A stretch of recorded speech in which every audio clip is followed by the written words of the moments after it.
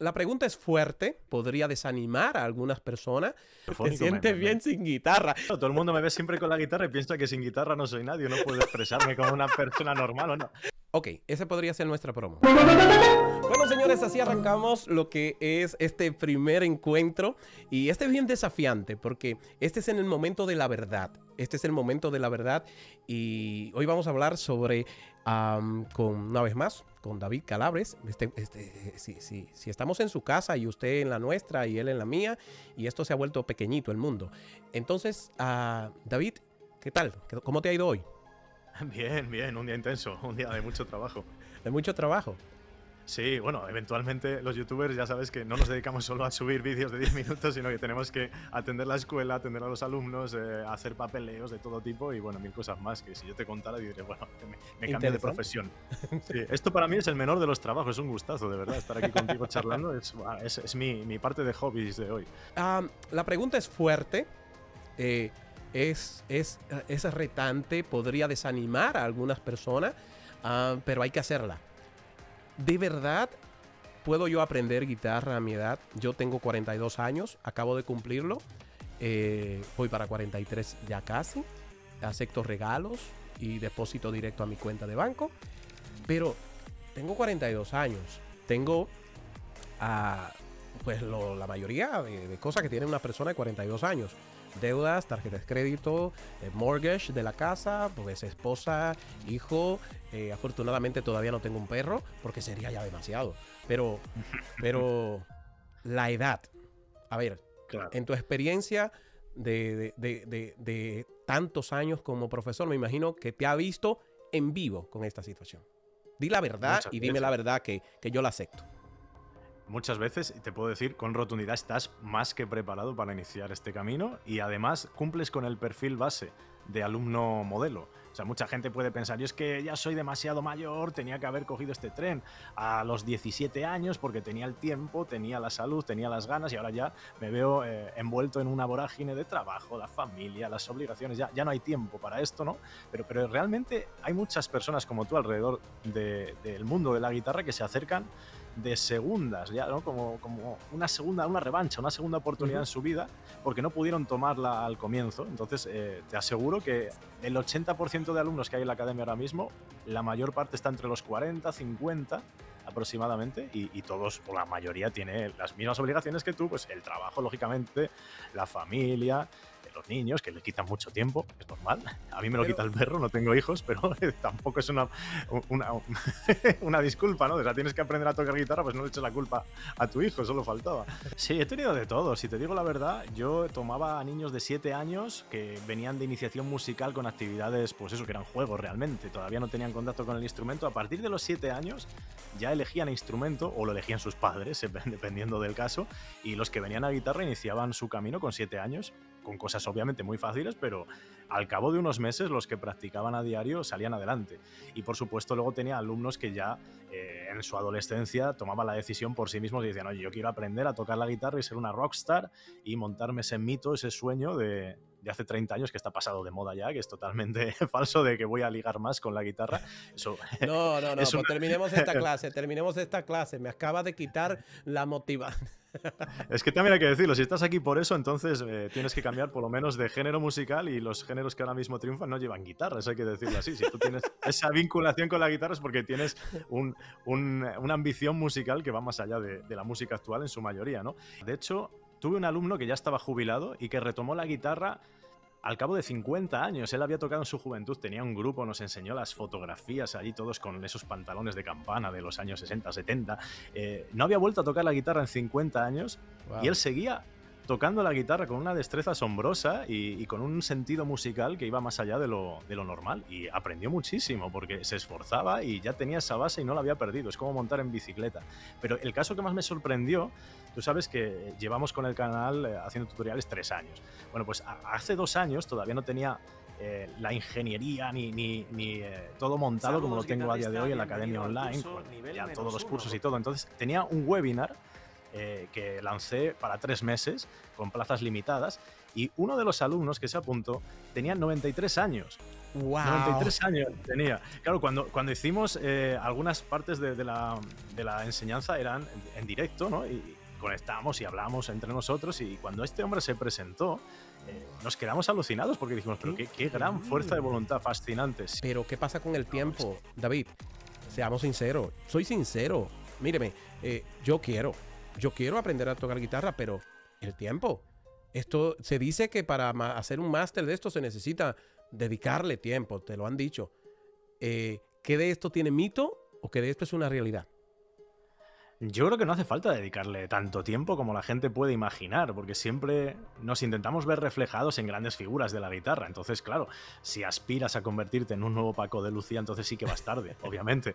Ya a los 42 años ya, ya no te da tiempo, ¿no? Pero no necesitas ser un gran genio. Yo creo que aquí el 95% de las personas que nos están viendo, lo único que quieren es encontrar un nuevo hobby, una forma de disfrutar. La guitarra te brinda esa oportunidad de tener a lo mejor 10 minutos, 15 minutos cada día, eso sí lo puedes sacar, aunque sea te los quitas de dormir, para poder eh, pasar un tiempo con la guitarra y contigo mismo. Es que no necesitas más que eso para poder avanzar un poquito. Si tú logras ese hábito de estar 10 minutos cada día o a lo mejor algún día incluso saltarte esa rutina, pero volver a los 10, 15 minutos es más que suficiente. De hecho, estos vídeos que vamos a, subir con, tu seguimiento eh, no van a ser demasiado largos. Si la gente se une a este proyecto y decide tomar práctica con ellos, no necesita mucho más para dominar las bases de la guitarra. Obviamente, aquí depende de la ambición y los proyectos que tenga cada uno, pero es tocar la guitarra, acompañar canciones, pasar un buen rato, eventualmente marcarte una meta como tocar para tu familia, para tus amigos en una reunión,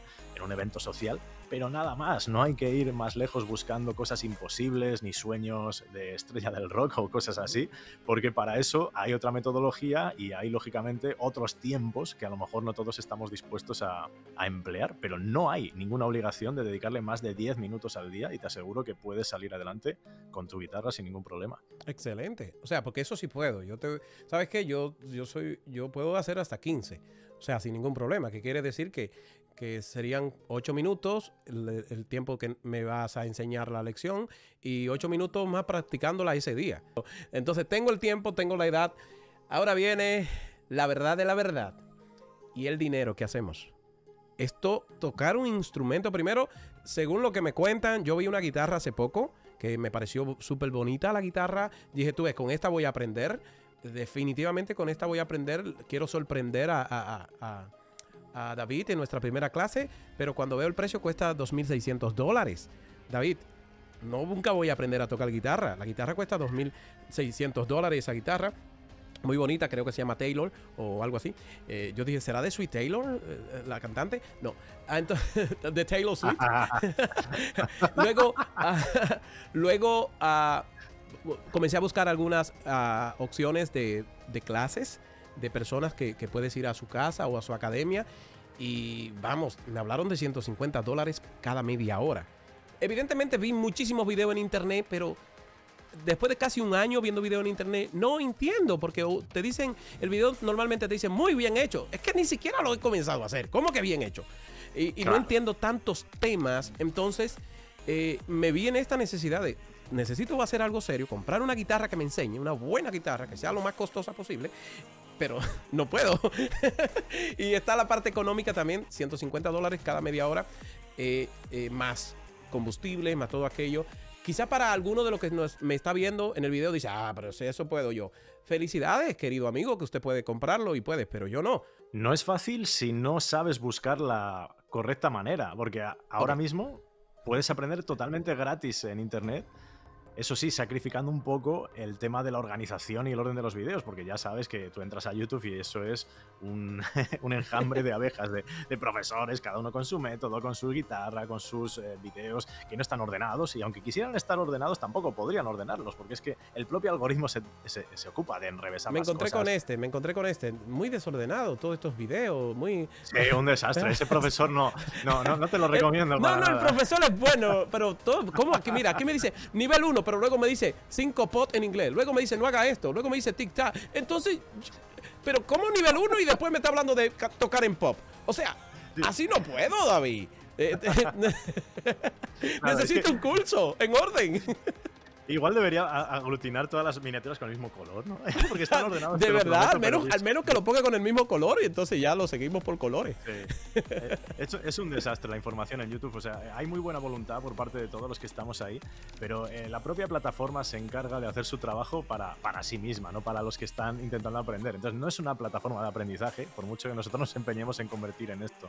Eh, entonces, claro, pasan cosas raras, ¿no? empiezas viendo un vídeo, acabas 50 vídeos después en el mismo punto y dices, no, no aprendí nada, o sea, escucho muchas cosas, muchas voces en mi cabeza. Entonces, claro, hay que tener las cosas ordenadas. Eso es lo que más cuesta, pero la información está ahí, es gratuita.